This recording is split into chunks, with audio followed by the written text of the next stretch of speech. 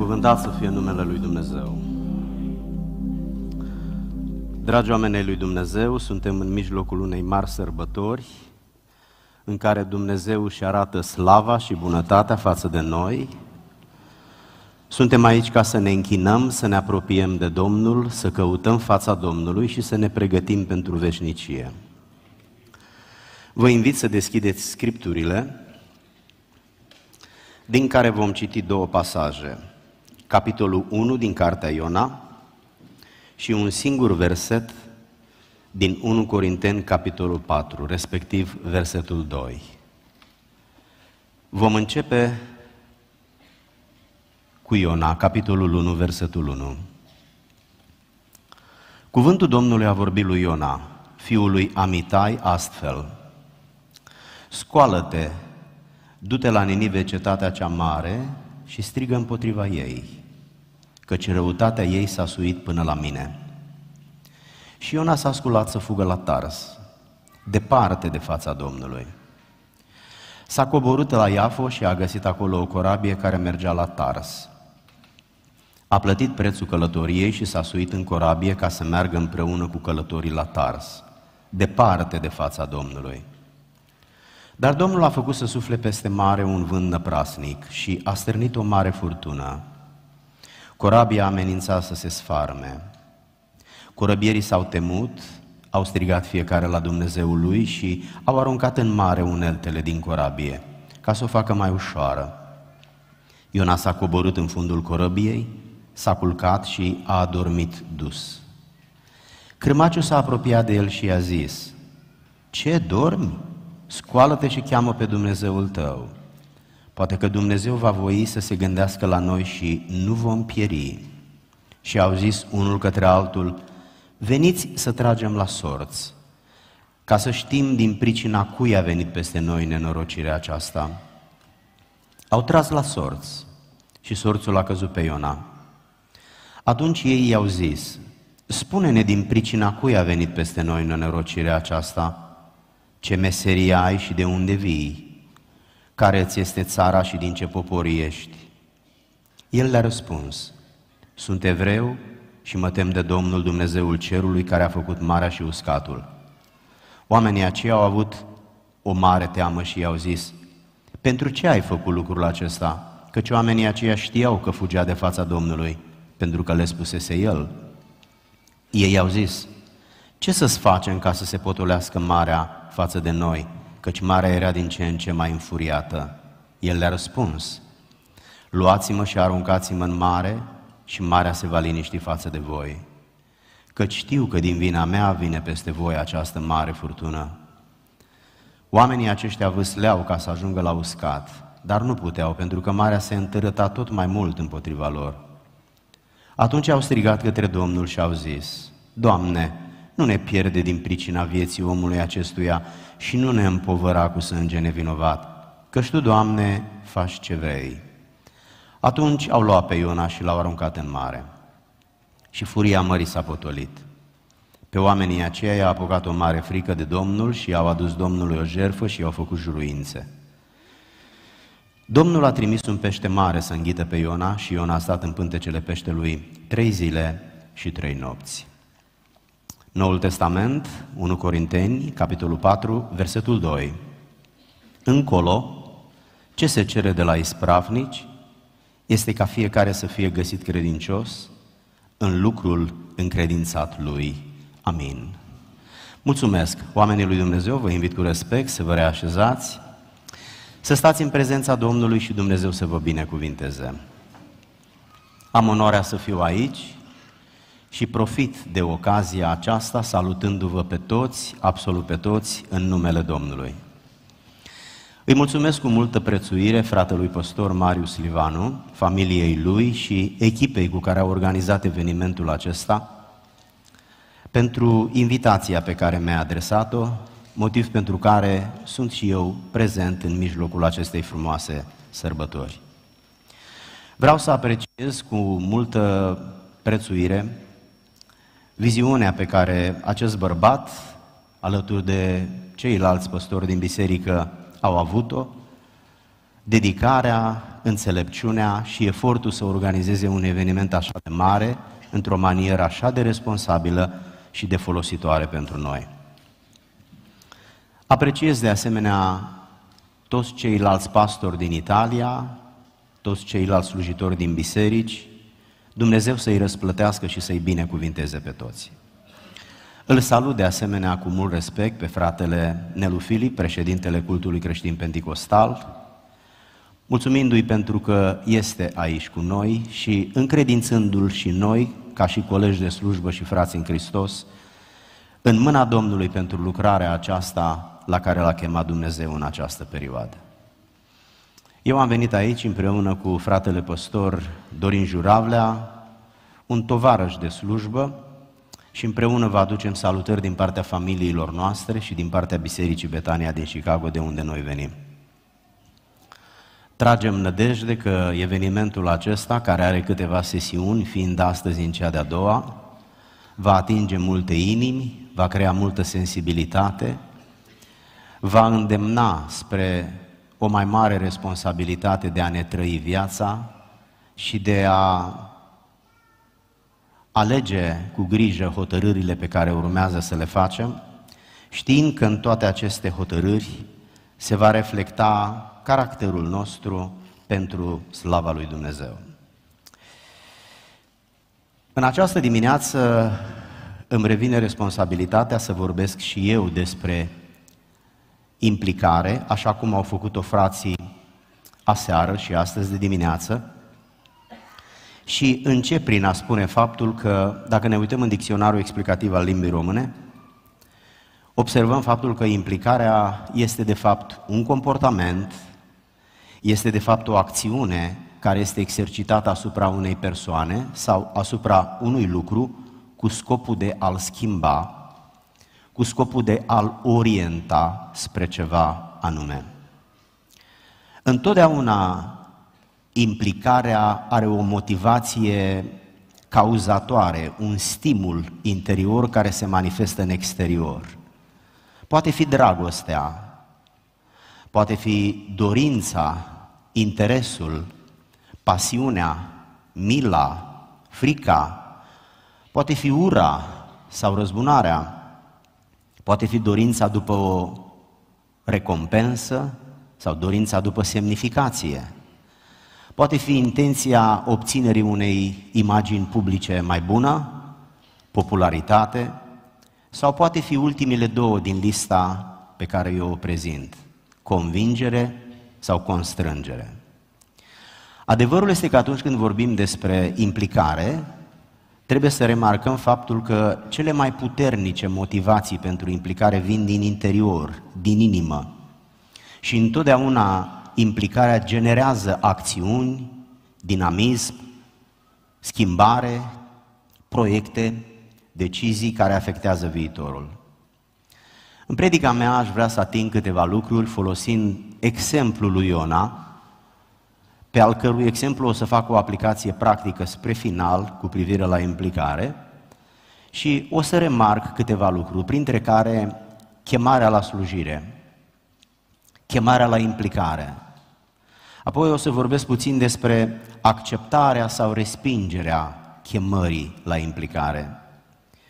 O să spun câte ceva și despre implicarea prin convingere sau prin constrângere, cele două mari motivații care stau la baza implicării oamenilor. Și sigur că o să închei vorbind puțin despre rezultatul sau consecințele implicării. Istoria lui Iona, a cărui carte, sau din a cărui carte am citit capitolul 1, este o poveste tristă. Este povestea unui om care a ales să nu se implice, în ciuda faptului că i s-a adresat o chemare, chemarea de a se implica, drept pentru care Dumnezeu l-a pedepsit. În mod firesc, omul are tendința să se separe de Dumnezeu, în ciuda nevoii de ajutorul lui Dumnezeu. Această tensiune care se creează având nevoie de ajutorul lui Dumnezeu, dar încercând să ne separăm de Dumnezeu, aduce în lumină această tendință jenantă a oamenilor de a comercializa prezența lui Dumnezeu. Asta înseamnă că noi nu avem nevoie de Dumnezeu, noi avem nevoie de ajutorul lui Dumnezeu. Dacă n-am avea nevoie de ajutorul lui, el nu ne-ar trebui, dar pentru că el poate să ne vindece în mod supranatural când doctorii nu mai au nimic de spus, pentru că el ne iartă păcatele și scăpăm de vinovăția care ne fură somnul, pentru că ne rezolvă problemele personale și de familie, atunci îl căutăm pe Domnul, dar noi de fapt nu îl căutăm pe Domnul, noi căutăm ajutorul Domnului. Și această atitudine de comercializare a lui Dumnezeu, cu scopul de a-i lua beneficiile, dar de a nu-i aduce închinarea ca ființă, ca persoană creatoare, este o atitudine cel puțin jenantă. Primul lucru pe care aș vrea să-l remarc din pasajul acesta este faptul că Dumnezeu îi cere lui Iona să se implice mergând la Ninive în misiune. Biblia spune următoarele. Cuvântul Domnului a vorbit lui Iona, fiul lui Amitai, astfel, scoală-te, du-te la Ninive, cetatea cea mare, și strigă împotriva ei, fiindcă răutatea ei s-a suit până la mine. Adevărul este că Iona s-a sculat, dar nu ca să asculte mergând la Ninive, ci ca să se împotrivească lui Dumnezeu fugind spre Tars. Tarsul era aproximativ în direcție opusă în raport cu Ninive. Omul acesta s-a sculat și cine l-a văzut a crezut că o să-l asculte pe Dumnezeu. Dar după ce s-a sculat, de fapt, nu a făcut altceva decât să se împotrivească lui Dumnezeu. Dumnezeu l-a chemat și a făcut partea. Dar Iona nu a ascultat. El nu și-a făcut partea. Și dintr-o dată a apărut o tensiune, un dezacord, un Dumnezeu abandonat, un Dumnezeu căruia i s-a întors spatele, o atitudine din nefericire așa de des întâlnită.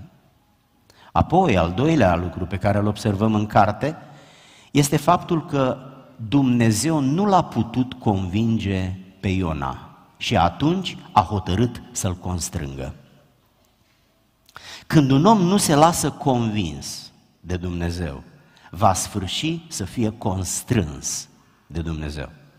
Dumnezeu l-a tratat cu respect, ca pe o ființă creată de El.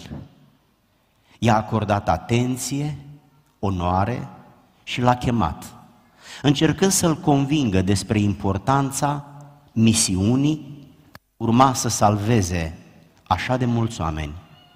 Mila Domnului este pentru toți oamenii, nu doar pentru albi sau negri, galbeni sau de altă culoare, pentru bogați, săraci, culți sau inculți. Dumnezeu iubește omul, punct. Și la Ninive erau mulți oameni. Dar Dumnezeu nu a reușit să-l convingă pe Iona și atunci a ales să-l constrângă. În loc să meargă la Ninive, Irakul de astăzi, el a fugit de fața Domnului și s-a dus la Tars, un oraș în Turcia de astăzi. În loc să fugă la Dumnezeu, în loc să fugă pentru Dumnezeu, este ciudat că a fugit de Dumnezeu. Nu la, nici pentru, ci de. A ales cea mai proastă opțiune. Iertați-mi jargonul. Era aproximativ prin anul 750 când s-a întâmplat lucrul ăsta, 750 înainte de Hristos. Puțin, foarte puțin înainte de perioada aceasta, Imperiul Asirian, care era în perioada de maximă expansiune, un popor extrem de crud, care anexase cele mai multe zone din lumea cunoscută la momentul acela, a venit peste regatul de nord, Fac o paranteză ca să vă amintesc de faptul că au existat trei regi mari în monarhia evreiască. Saul, care a domnit 40 de ani și a sfârșit trist, David, ginerele lui, care a domnit alți 40 de ani și a fost cel mai sclipitor dintre regii monarhiei evreiești, și Solomon, fiul lui David, cel mai înțelept om de pe pământ, dar după ce el a murit, țara s-a dezbinat. Cele 12 triburi, seminții care compuneau națiunea evrească, s-au scindat. 10 s-au dus în partea de nord și s-au numit Israel sau Regatul de Nord și a devenit puțin mai târziu capitala la Samaria. Și celelalte două seminții care au rămas, au rămas în zonă, au purtat numele de Iuda sau Regatul de Sud. Regatul de Sud, Iuda, avea Ierusalimul și avea templul. Și printre regii lor au fost și regi buni, dar regatul de nord n-a avut niciodată un rege bun. De aceea Israelul, regatul de nord, a căzut primul. Asirienii au venit în timpul lui Ezechia și au luat cele zece seminții, le-au împrăștiat printre națiuni și împrăștiate sunt și astăzi. Iona avea proaspăt în minte acest măcel, această distrugere a țării lui, a poporului lui. Și ciudat este că Dumnezeu îl trimite la dușmanii lui și la dușmanul părinților lui. Dumnezeu îl trimite la cei care i-au distrus țara, care a luat cea mai mare parte din moștenirea lui Dumnezeu și a răspândit-o printre toate națiunile pământului. El nu a putut să facă treaba asta. Și pur și simplu a evadat. A fugit încercând să se ascundă de Dumnezeu pentru că nu vrea să ajute, să ducă mesajul iertării unor oameni care, din punctul lui de vedere, meritau condamnați. Niște oameni care meritau pedepsiți. El nu a vrut să fie agendul iertării, trădându-și națiunea. Scriptura ne spune că în al patrulea an al împăratului Ezechia, care era al șaptelea an al lui Osea, asta vorbește în paralel despre cele două părți ale țării, Israel și Iuda, zona de nord, zona de sud, a venit împăratul Asiriei, a distrus totul, a luat zece seminții și a plecat. Și din ură Iona nu a vrut să ducă asirienilor mesajul iertării pentru că aceștia distruseseră Israelul. Ezechiel a domnit 25 de ani la Samaria, începând cu anul 729 și chiar acum, când el a fost proroc, era proaspăt, foarte proaspăt în memoria lui, nenorocirea care s-a întâmplat. Scriptura vorbește despre simțămintele interioare a lui Iona, spunând, lucrul acesta nu a plăcut deloc lui Iona și s-a mâniat. Înțelegem din uh, raportul Scripturii, primul și ultimul capitol, cartea are patru capitole, înțelegem că a fost un tip coleric, acesta e profilul lui psihologic, pentru că cel puțin de două ori Scriptura menționează că s-a mâniat. Aceasta este o caracteristică a colericilor, adică oameni țăndăroși, oameni nervoși, oameni care se enervează într-o clipă. Partea lor bună este că după ce s-au enervat, dacă nu te omoară, după 5 minute își cer iertare și relația reintră în normalitate. Observați că el s-a rugat și a spus, ah, Doamne, Tocmai aceasta, tocmai aceasta ziceam eu despre țara mea, tocmai aceasta vreau să evit fugim la Tars. Știam că Tu ești un Dumnezeu milos, plin de durare, îndelung răbdător, bogat în bunătate și Tu te căiești de răul pe care vrei să-l faci. Nespuse, îmi permit eu să-mi imaginez gândurile din acțiunile lui, ar fi continuat Iona să spună, da, eu nu ca tine, bun, eu rău, eu nu sunt ca tine blând, eu sunt mânios, eu sunt răutăcios, așa că nu pot să parteneriez cu tine. Tu m-ai trimis acolo, Doamne, nu mă duc. Vreau să fug departe de oamenii ăștia și departe de fața ta.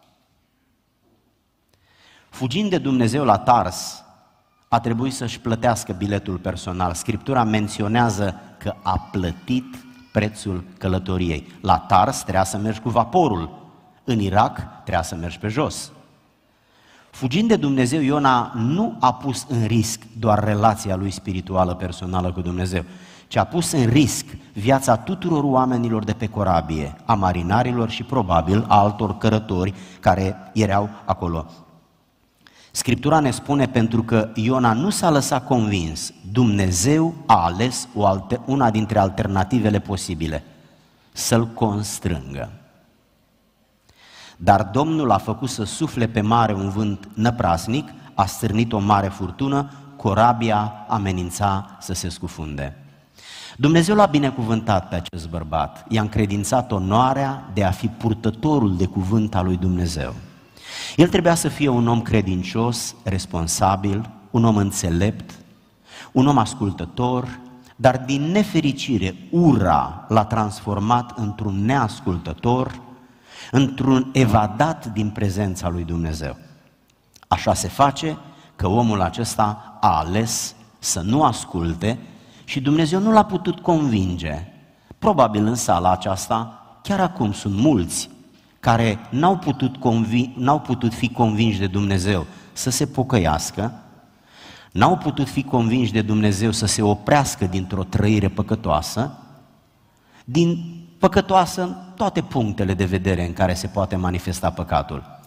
N-au putut fi convinși să-și repare relațiile de adversitate pe care le-au creat sau în mijlocul cărora s-au trezit, n-au putut fi convinși să se boteze în apă sau să meargă la stăruință pentru umplerea cu Duhul Sfânt, n-au putut fi convinși să facă donații pentru lucrarea lui Dumnezeu de misiune sau ei înșiși să se implice în lucrarea de misiune și pur și simplu și-au luat viața în propriile mâini și stau sub mânia lui Dumnezeu, dați în urmărire generală. Iar Dumnezeu este pregătit să-i constrângă. Cum să-i constrângă? Așa cum l-a constrâns pe Iona. Corabia amenința să se scufunde. Astăzi noi nu mai mergem așa mult cu corabia, dar mergem cu mașina și mașina se poate sfărâma de un parapet, de o altă mașină, de cine știe ce. De ce? Pentru că Dumnezeu vrea să ne educe. Dumnezeu, dacă nu ne liniștim singuri, El vrea să ne liniștească. Dacă nu ne folosim mintea și dragostea lui Dumnezeu, atunci El vrea să activeze frica și groaza, sperând că cel puțin cu metoda aceasta dură, poate chiar violentă, va reuși să ne câștige sufletul și să nu mergem în iad. Mai bine să stăm cu un picior agățat o lună, două, un an, cinci, decât să mergem în iad. Cum spunea Hristos, mai bine renunți la o mână, la un ochi, o parte din trupul tău, decât să putrezești în iad, să arzi în foc. Marinarii erau disperați. Ei care erau specialiști în ale navigării și au dat seama că vor muri, erau disperați și au început să se roage. Ei nu erau niște oameni care îl slujeau sau nu-L cunoșteau pe Dumnezeu. În general, în Scriptură, când citim despre ciobani sau despre marinari, chiar și despre farisei, citim despre cele mai imorale categorii de oameni. Marinarii nici astăzi n-au o reputație bună pentru că ei pleacă cu lunile de acasă, își lasă soția dacă au și în lunile alea se descurcă și ei cum pot, având un stil de viață destul de dubios. Din motivul acesta li s-au creat o reputație foarte proastă. Departe de familie, ca și ciobanii, stau mai mult cu oile decât cu nevasta. Ei, aceste, cel puțin aceste explicații vorbesc despre de ce Întotdeauna, toate cărțile, toate documentarele vorbesc despre marinari și despre ciobani, ca fiind niște oameni din subsolul uh, profesiilor. Și Iona nu a ascultat de Dumnezeu, însă a venit vântul și mai târziu a venit peștele. Dumnezeu a avut ac de cojocul lui Iona. Dacă nu a ascultat de vorbă bună, așa cum ar trebui să asculte un om. Atunci Dumnezeu trimite pe cineva care nu-i mai vorbește frumos, nu-l mai menajează, nu mai manifestă iubire. Și a trimis un vânt încât corabia aia, care a fost construită să suporte orice intemperie, era gata să se facă praf, ca un castel de nisip. Și dintr-o dată, omul acesta, într-un mod destul de miraculos, ajunge să fie aruncat în mare în urma unui proces intentat de marinari și înghițit de un pește uriaș, un cașalot sau eu mai nu știu ce pește. Cașalotul n-a fost prietenos. Nu mai imaginați-vă că l-a înghițit. Numai imaginați-vă că acolo era întuneric, era sleios, nu prea era oxigen și așa cum în pântece, în stomac unde se duce mâncarea, apar tot felul de agenți duri și usturători ca să digere, să ajute la digerare, toate astea au venit peste bietul Iona.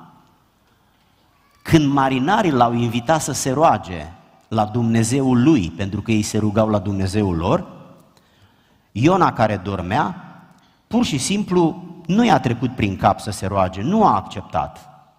Dar dintr-o dată peștele ăsta l-a învățat și să se roage, l-a învățat și să-și propună să-L asculte pe Dumnezeu, l-a învățat să prețuiască relația spirituală cu Dumnezeu în care a dat cu piciorul cu o oră, două, trei mai devreme, extraordinar cum Dumnezeu n-a reușit să-l convingă, dar l-a constrâns trimițând un balaur, un bau-bau din ăsta cu o gură cât toate zilele, l-a înghițit, l-a băgat în mașina aia de spălat, unde l-a frământat, l-a înghesuit, i-a luat aerul și mă gândesc că o fi făcut un, un atac de panică, claustrofobie și nu mai știu ce, tot felul de lucruri.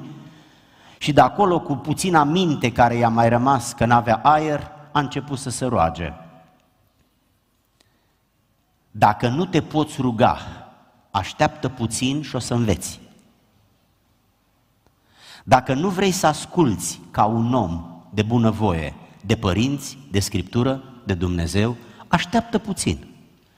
Și o să înveți. Numai că nu o să poți uita niciodată contextul violent, dureros și dramatic în care o să înveți obligat ce n-ai vrut să înveți de bunăvoie.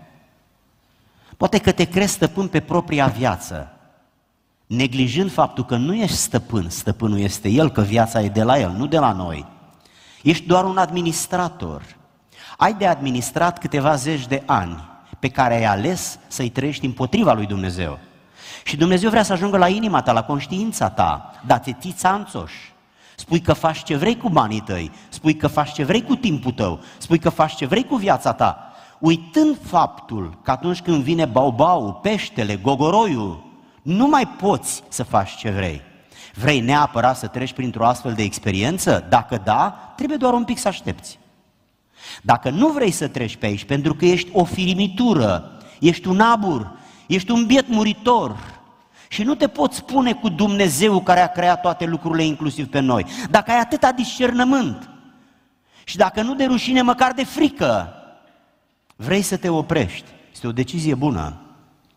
Este o decizie grozavă să te oprești și să îți cauți semnalul de conectare cu serverul, adică să te conectezi cu Dumnezeu.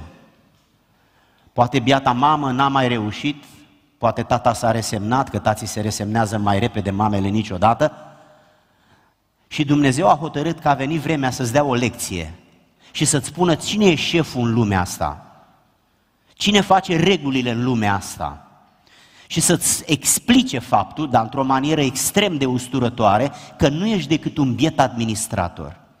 Administrezi câteva sute de euro, administrezi câteva zeci de ani de ființă umană muritoare, cu o viață îmbibată de necazuri, împletită într-un mod misterios cu bucurii, și te ții țanțoș nevoie mare, părându-ți se că faci ce vrei.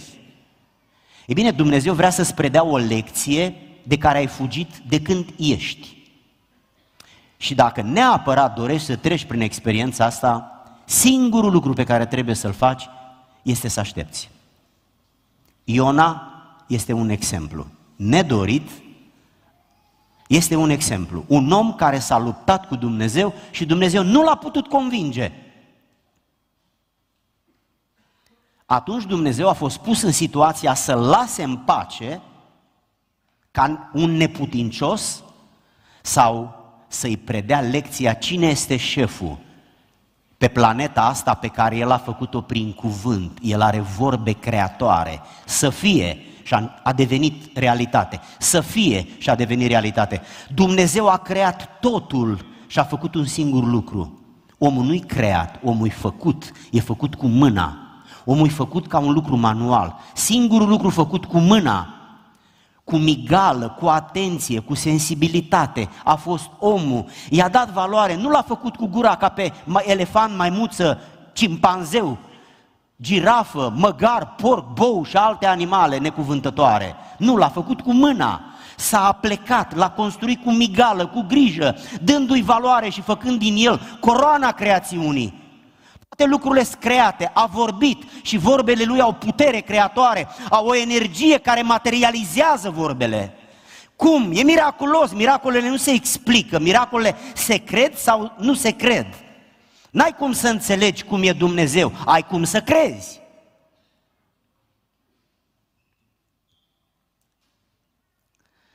Cârmaciul abordează pe Iona înainte să fie aruncat și îl mustră, bă omule, tu dormi?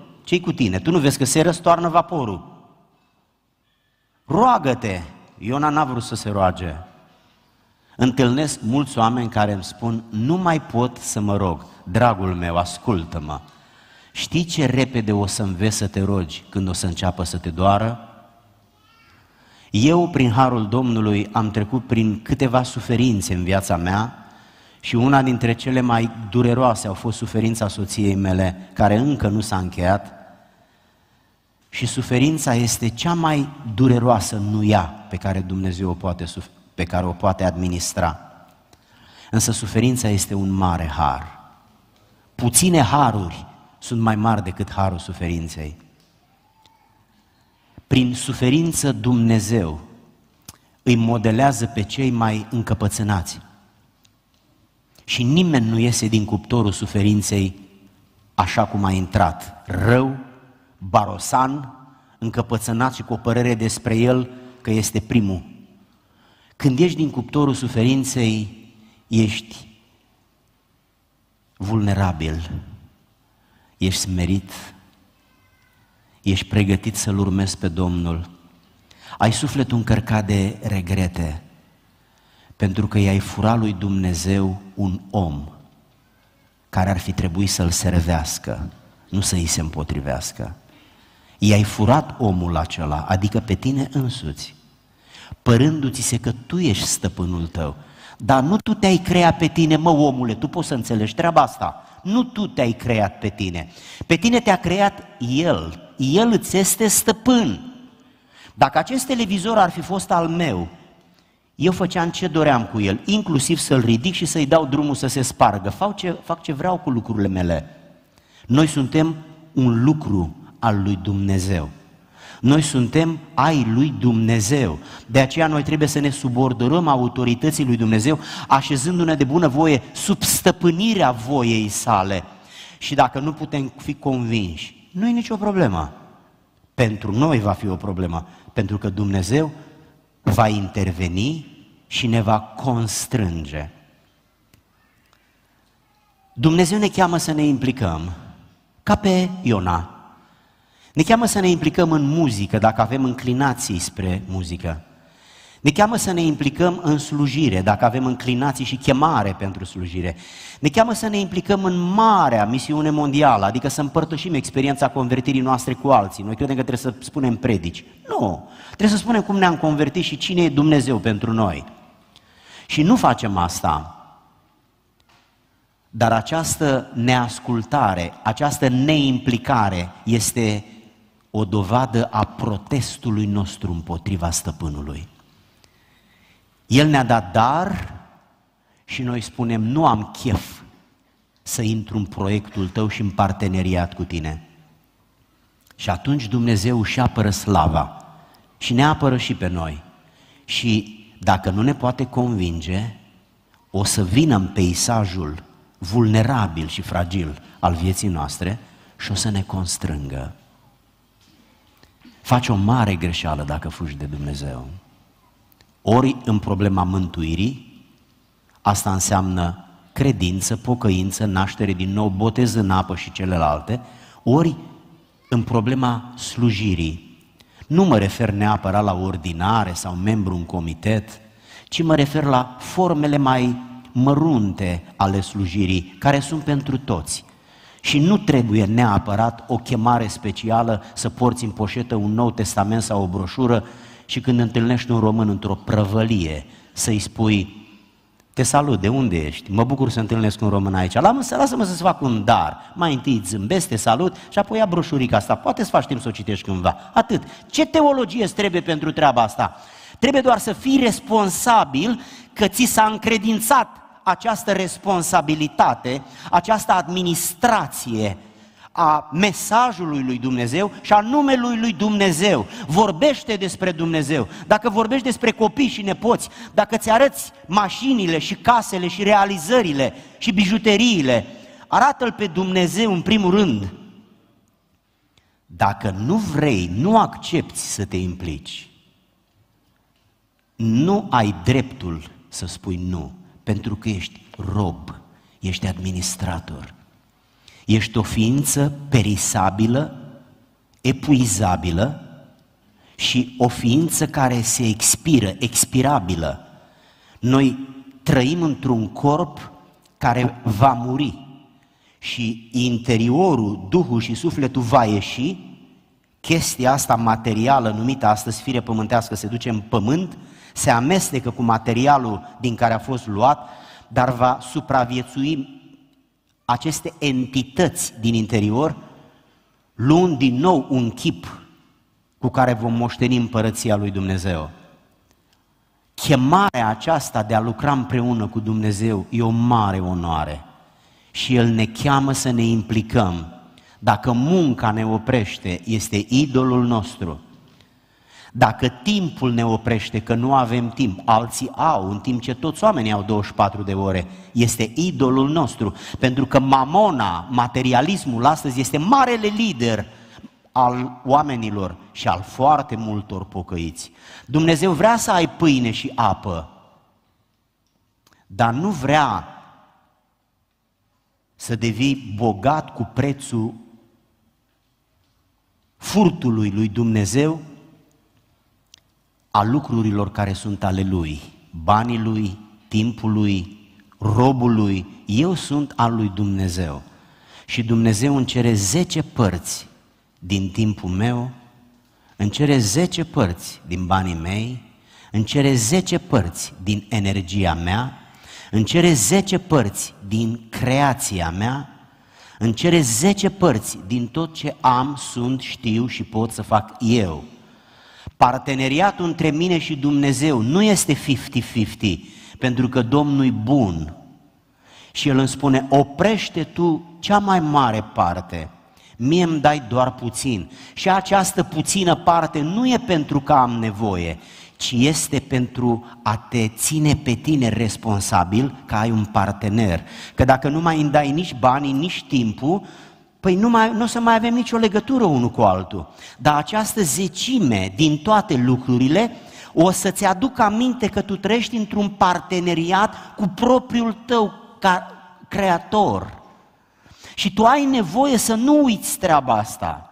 Că mândria e aproape de inima omului și apoi urmează nebunia, mai aproape decât orice. Și ori de câte ori îi dăm Domnului ce este al Lui din banii noștri, din timpul nostru, noi reactivăm potențialitatea parteneriatului nostru cu Dumnezeu. Noi îl validăm, noi îl confirmăm, noi îl împrospătăm. Întotdeauna mi-aduc aminte de Domnul meu, ori de câte ori îmi, îmi, îmi, îmi trimit ce este al Lui la mine. În inima mea sunt, este ascunsă partea lui Dumnezeu.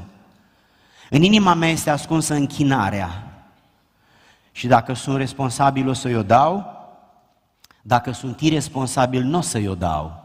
Dintr-o mie de motive, plecând de la inconștiență, nepăsare, mediocritate, superficialitate, să nu spun prostie că nu-mi stă frumos, și multe alte lucruri, până la tot felul de alte lucruri pe care îi le datorez Domnului și mie mi se pare că sunt propriul meu stăpân, stimații mei, frații mei, scumpii mei, dacă nu aveți loc în geantă să puneți mai multe lucruri, puneți măcar unul.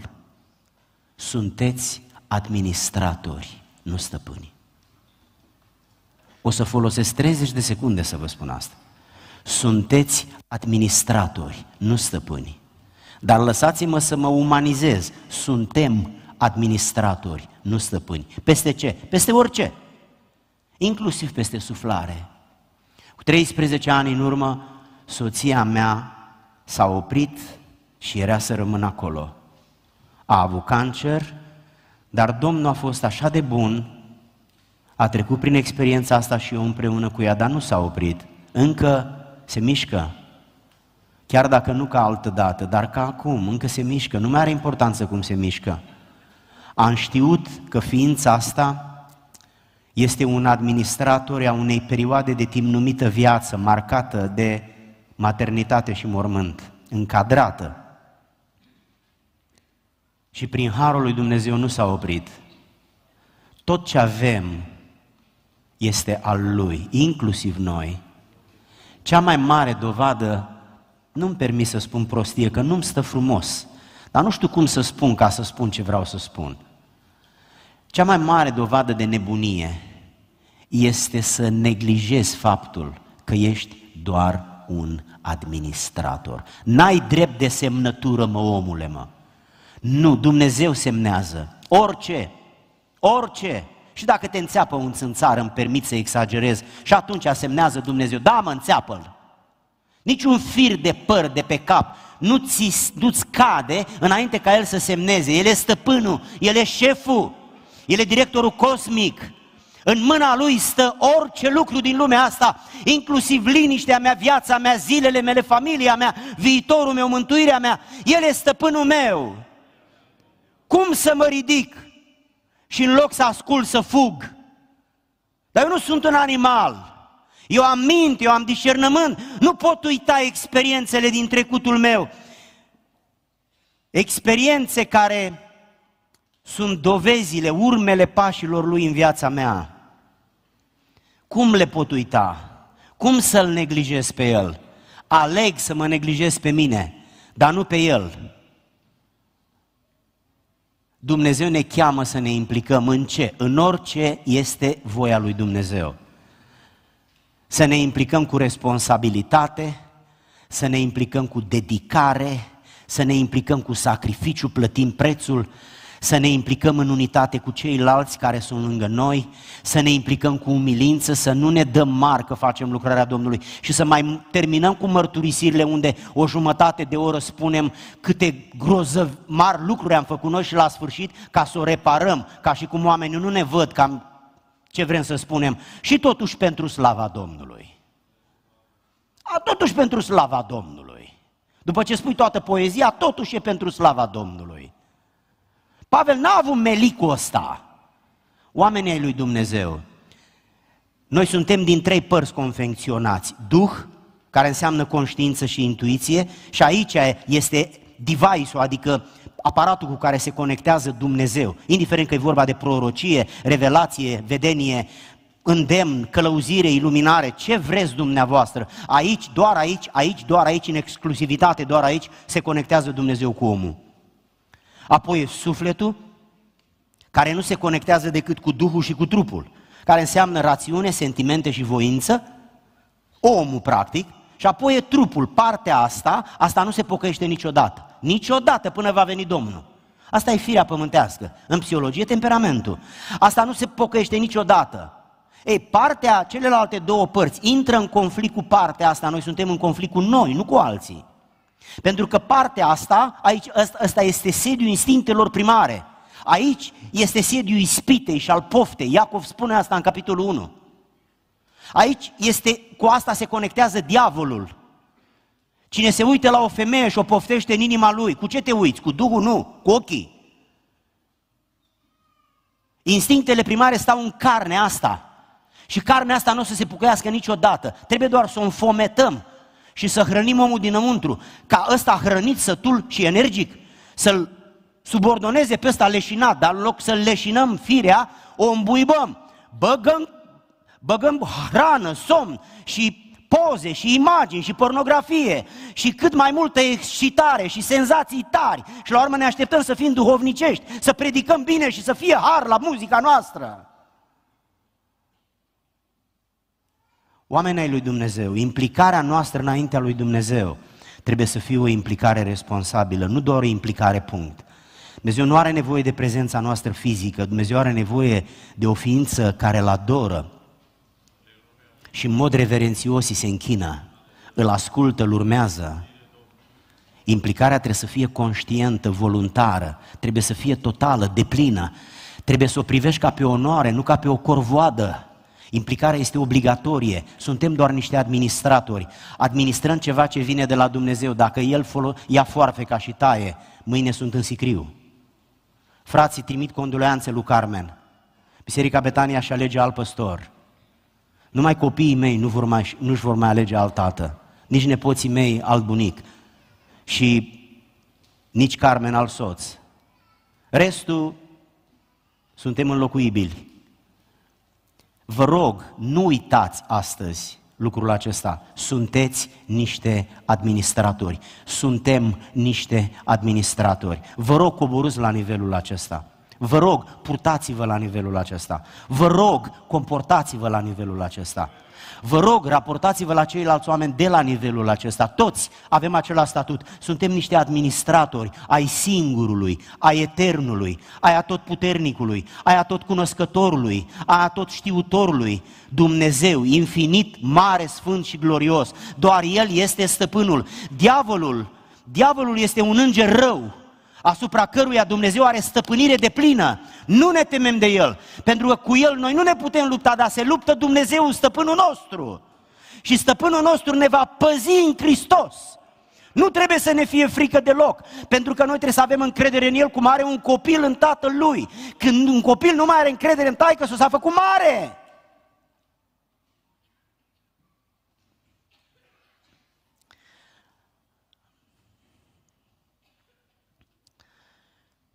Iona, strivit de cașalotul în pântecele căruia a intrat, trăindu-și ultimile clipe de viață, se roagă și spune, stăpâne, iartă-mă.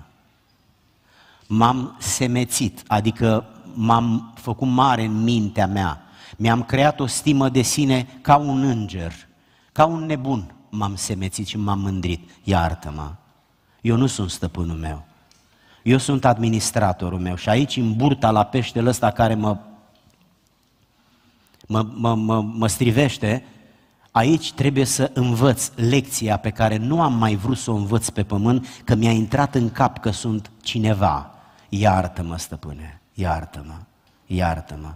Ceea ce este incredibil este că l-a iertat. Pur și simplu mă topește treaba asta. Am trecut de mii de ori pe drumul ăsta, unde Dumnezeu m-a iertat din nou și din nou și din nou și din nou și din nou, în 62 de ani, nici nu știu dacă există în matematică un număr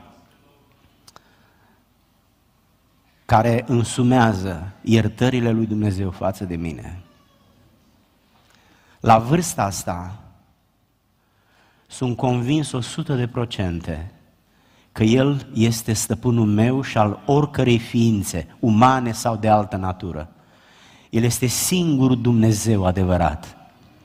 Și din farfuria Lui mâncăm noi toți. Și pe perna Lui dormim noi toți. Și pe harul și mila și bunătatea și dragostea Lui trăim noi toți. Este timpul să ne smerim când cântăm să cântăm cu o teamă reverențioasă. Când predicăm să predicăm cu o umilință vecină cu carpetul, cu covorul. Când vorbim cu alți oameni, să vorbim cu mare, cu mare respect, chiar dacă persoana aia nu merită respectul. Noi ne respectăm pe noi când respectăm pe alții. Noi respectăm pe Creator când respectăm pe alții. Cine nu merită să fie respectat, eu îl voi respecta oricum. Nu-i treaba mea să evaluez dacă merită sau nu merită. Aia nu-i treaba mea. Eu sunt chemat să fac un lucru și îl fac indiferent de cum sunt oamenii din jurul meu. Acum când eu spun asta, nu înseamnă că eu reușesc să fac asta, înseamnă că eu vreau să reușesc să fac asta. Mă apropii de încheiere. Iona aleargă în sfârșit la Dumnezeu. A fugit de dar acum fuge la și în final pentru Dumnezeu. Iona aleargă pentru Dumnezeu. Capitolul 1 se repetă în capitolul 3. Capitolele 1 și 3 sunt absolut identice în ceea ce privește chemarea și trimiterea. Din nou ce a spus Dumnezeu în capitolul 1, în prima parte, repetă, reafirmă în capitolul 3. Din nou îl trimite pe Iona. Dar Iona din capitolul 3 nu mai este Iona din capitolul 1. Și a pierdut aroganța în burta la pește. Și a pierdut încrederea în el, măreția, nebunia, prostia și tot pachetul în burta la pește. Aș vrea să vă rog, evitați burta la pește. Aș vrea să vă îndemn cu dragoste. Evitați nenorocirile, încercările. Încerca, fugiți de lucrurile astea, că sunteți doar niște muritori. Trăim o viață atât de scurtă și poate fi așa de frumoasă. Îmbrățișați de dragostea lui Dumnezeu. Miliți, protejați, hrăniți și ținuți la pieptul lui nu vă răzvrătiți ca niște copii râzgâiați, răsfățați, care v-ați pierdut măsurătoarea, simțul măsurii, care v-ați pierdut discernământul, pentru că el va fi nevoit să vă dea un medicament amar cu scopul să vă repare ca să puteți trăi. Veniți-vă în fire și uitați-vă pe dealul căpățânii, ca acolo Dumnezeu Fiul a coborât ca să-și asume toată destrăbălarea din viața mea. Și pentru că eu trebuia să fiu pedepsit cu moartea, El a venit și a intrat în rolul acesta și a murit în locul meu. Astăzi, îmbogățit de această înțelegere, eu știu că nu mi-aparțin mie. Eu sunt al nevestei mele, dar în al doilea rând. Eu sunt al copiilor și al nepoților mei, dar în al doilea rând. Eu sunt al bisericii pe care o slujesc, dar în al doilea rând. Eu sunt al oricui, dar în al doilea rând. În primul rând, sunt al Dumnezeului meu care m-a făcut cu mâna, al Dumnezeului meu care m-a scos din groapa pieirii, m-a scos din păcatele mele, m-a scos din prostia mea, din nebunia mea. Acest Dumnezeu care mi-a luminat mintea și mi-a mângâiat sufletul, care mi-a dat direcție și viitor. El mă cheamă să mă implic. Și asta este onoarea mea. Asta este bucuria mea. Nu mă simt în siguranță să fiu condus de mine, dar mă simt îmbrățișat și protejat fiind condus de El. Aceasta este harul pe care îl avem. Nu să ne mândrim fugind după o libertate cu care nu avem ce face, decât să chemăm constrângerea lui Dumnezeu. Alegem astăzi să ne lăsăm convinși de susurul blând al Duhului Sfânt, de îndemnul Evangheliei lui Dumnezeu și să fim niște oameni cu o minte luminată de Duhul Sfânt, niște oameni disponibili și pregătiți să ascultăm vocea Domnului. Du-te, mă duc, Doamne, vino, vin, Doamne, Viața noastră se derulează între dute și vino. Ne ducem la oameni să ducem din partea Domnului leac alinător și ne întoarcem la Dumnezeu pentru două motive. Să primim ispășirea pentru ce s-a întâmplat greșit și să-i aducem închinarea. Și ne luăm repede pachetul de leac alinător și plecăm din nou la oameni. Și după ce am dat tot ce era cu dreptul, ne întoarcem din nou să ne închinăm și să luăm un alt pachet. Și asta este viața noastră duceți-vă, veniți la mine, mergem să ne închinăm la Dumnezeu. Unii se duc și nu se mai întorc niciodată. Se privatizează în tot felul de misiuni, de proiecte, devin barosani. Alții se întorc și nu mai pleacă, rămân acolo în casa lui Dumnezeu și mor oamenii nemântuiți lângă ei. Indiferent în ce șanț intri, în stânga sau în dreapta, e la fel de rău. Dacă vrei să faci un lucru bun, mergi pe mijlocul cărării neprihănirii. Mergi pe mijlocul cărării neprihănirii. Alături de noi, lângă noi, sunt oameni care ne așteaptă.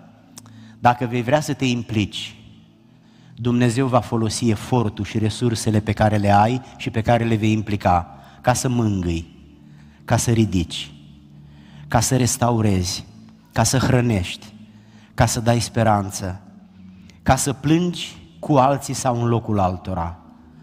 Te așteaptă oamenii. Pentru că atunci când vei merge, ei vor vedea pe omul lui Dumnezeu care vine. Poate crezi că ești prea mic. Nu. De la vârsta de o secundă, copilul meu poartă numele meu după ce se naște. Și oriunde merge se spune ăsta e copilul lui Gimițoi. Noi suntem copiii lui Dumnezeu și ne vom numi așa atâta timp cât vom fi aici pe pământ copii ai Tatălui. Ești chemat să te implici, pentru că atunci când te implici vei face o diferență, vei duce de la Dumnezeu către oameni ceva ce Dumnezeu îți va da. Dumnezeu îți va da o viziune pe care o vei manifesta în această implicare. Dumnezeu îți va da resurse, Dumnezeu îți va da daruri care manifestă puterea, îți va da slujbe care manifestă autoritatea și îți va da roada care manifestă caracterul sau îți va da caracter care va manifesta roada.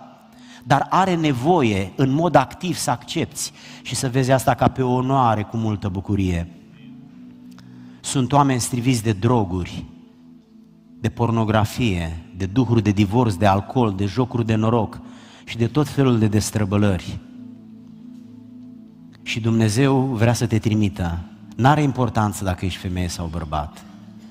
În familia restrânsă, extinsă, în contextul prietenilor, vecinilor, colegilor, oamenilor pe care îi cunoști, în biserică, implică-te să postești pentru mine și pentru păstorul dumitale. Implică-te să te rogi pentru noi. Implică-te să susții familia, să-ți educi copiii, să-ți iubești nevasta, să-ți respecti bărbatul. Pune familia dumitale pe locul 2 după Dumnezeu, înainte de biserică. Biserica e pe locul 3. Dacă nu faci asta în familia dumitale, atunci cu ce te ocupi? Te-ai privatizat de Dumnezeu, vrei să te privatizezi și de familie și să devii în sfârșit liber. Liber pentru ce? Pentru constrângerea care urmează să te liniștească și să te reseteze, oferindu-ți prin har un nou început. Te rog, acceptă să te implici astăzi, pentru că te așteaptă o mulțime de oameni care se miră de ce ai întârziat. Aș vrea să vă arăt ceva. Uh, o să încerc să cobor aici, nu știu dacă fac bine sau nu. Dacă sunetul mă ajută, o să cobor.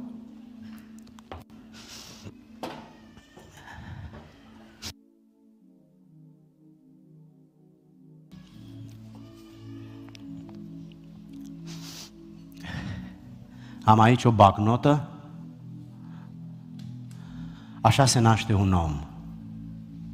Frumos, valoros, plăcut și se constituie într-o mare bucurie pentru părinți, pentru oameni. Dar el crește și mama trebuie să-i dea drumul din pântece mai întâi și apoi de drumul și din brațe.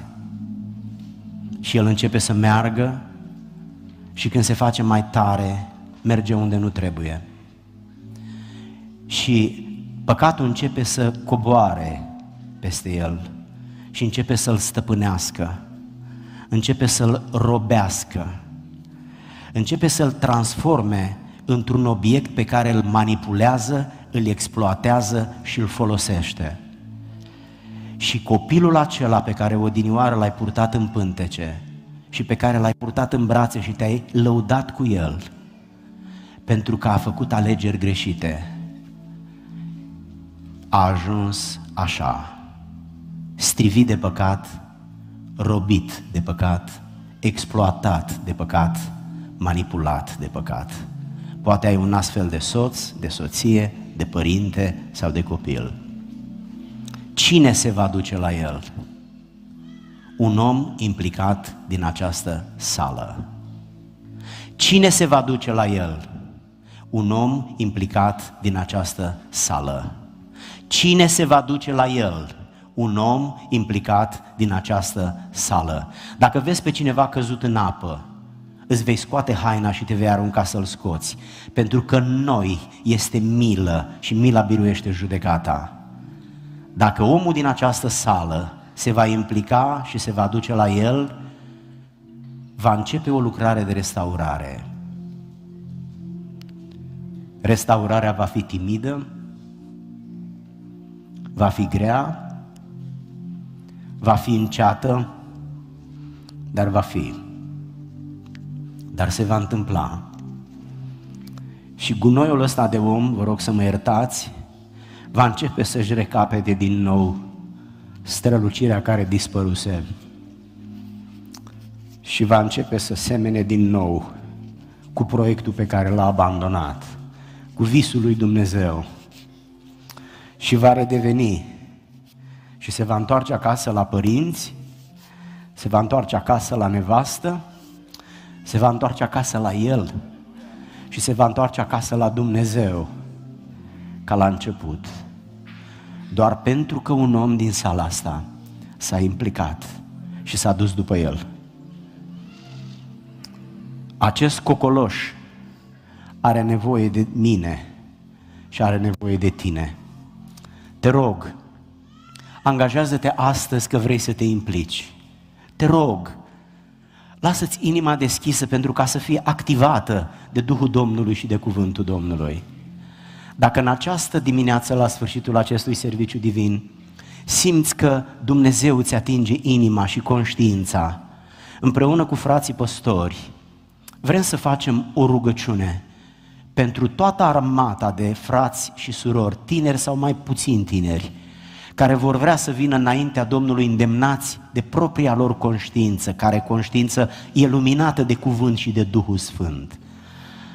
În, în dimineața aceasta te invit să vii aici în față pentru că vrem să ne rugăm pentru dumneata la dorința pe care o ai să te implici. În ce? Poate nu știi în ce. Asta e treaba lui Dumnezeu. Dar trebuie să ai această intenție generală, angro, vreau să mă implic. Toți cei care vreți să vă implicați, toți cei care vreți să vă resetați, toți cei care vreți să aveți un nou început, toți cei care vreți să plecați în voia lui Dumnezeu, toți cei care vreți să nu fi cheltuit banii degeaba, toți cei care vreți să se odihnească peste creștetele capetelor dumneavoastră, mâinile străpunse ale singurului mântuitor de sub soare, Fiul lui Dumnezeu Iisus Hristos, vă îndemn să veniți aici în față în momentele următoare, pentru că muzica o să cânte puțin și pastorii prezenți o să ne rugăm pentru dumneata. Iar angajamentul acesta de a te dedica, de a te implica, de a te consacra, este visul lui Dumnezeu. Te-a adus aici nu ca să fii informat, ci ca să devii implicat. Informația te ajută să te implici, dar dacă ești doar informat și nu finalizezi informarea prin implicare, nu ți-ai atins potențialul. O să vă invit să cântați, o să vă invit să vă ridicați. Oameni dragi, frați și surori, dragi tineri, oameni ai lui Dumnezeu, vă rog coborâți dacă sunteți mai sus. Și pe cei care sunteți aici pe pământ, vă rog, veniți înaintea Domnului. Nu veniți dacă nu simțiți. Nu veniți dacă nu aveți nevoie să vă implicați.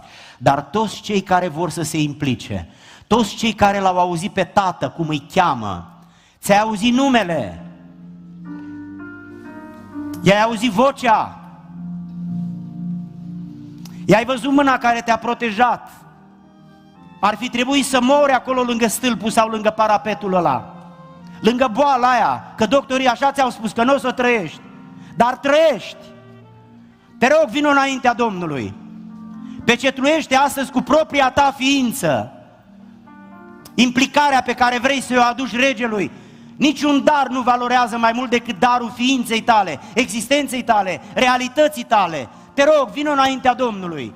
Aude-i vocea. Te cheamă, te strigă.